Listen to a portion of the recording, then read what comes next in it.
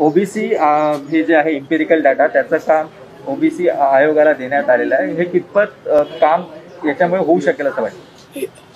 मी पहिल्या दिवसापासून सांगतोय की ओबीसी इम्पेरिकल डेटाचं काम हे आयोगालाच दिलं पाहिजे. कारण सर्वोच्च न्यायालयाने के. कृष्णमूर्तीमध्ये जे सांगितलेलं आहे ते आयोगालाच ही जबाबदारी दिली आहे.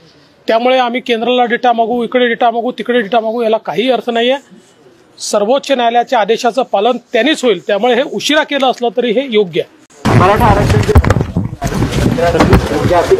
आता काय करावं असं वाटतं? तरी अजून राज्य सरकारची याचिका तिथे आहे. ही याचिका फक्त एकशे दोन पुरतची होती.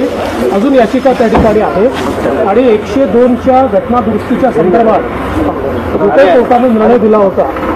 त्यानुसार आता ही याचिका फेटाळल्यानंतरची परिस्थिती अशी आहे की आता राज्य सरकारच्या मागासवर्ग आयोगाला मराठा समाज मागास आहे हे पुराव्यासहित सांगावं लागेल आणि तो रिपोर्ट केंद्राकडे पाठवावा लागेल. आधी केंद्राकडे पाठवण्याची आवश्यकता नव्हती पण आता तो केंद्राकडे पाठवावा लागेल एवढाच याच्यामध्ये फरक आलेला आहे.